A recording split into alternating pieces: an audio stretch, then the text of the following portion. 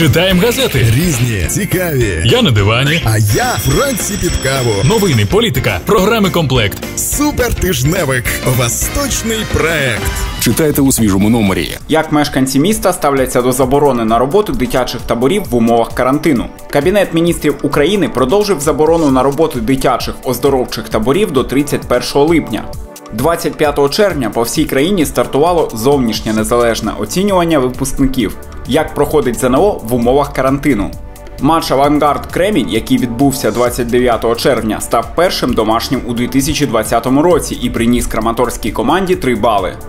Відбувся тендер на реконструкцію скверу профспілок. Роботи обійдуться місту у 23 мільйони гривень. З 30 червня через Краматорськ знову почав курсувати потяг номер 92 Костянтинівка Одеса. У Краматорській міськраді запланували замінити і відремонтувати обладнання на дитячих і спортивних майданчиках міста. У громадському транспорті перевірятимуть дотримання санітарних норм. Наразі створені мобільні моніторингові групи, які контролюватимуть дотримання протиепідемічних вимог при перевезенні пасажирів.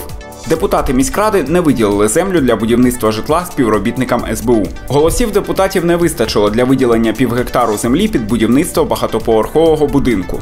На ліквідацію стихійних сміттєзвалищ виділено 700 тисяч гривень. Хто має право на безкоштовний тест на COVID-19? В Україні не передбачено масове безкоштовне тестування на COVID-19. За державні кошти тест роблять тільки певним категоріям громадян. Розпочався прийом заяв на отримання грошової компенсації за бебі-бокси. Більше інформації та фото на сайті vp.donetsk.ua Регіональний щотижневик Восточний проект. Більше ніж газета.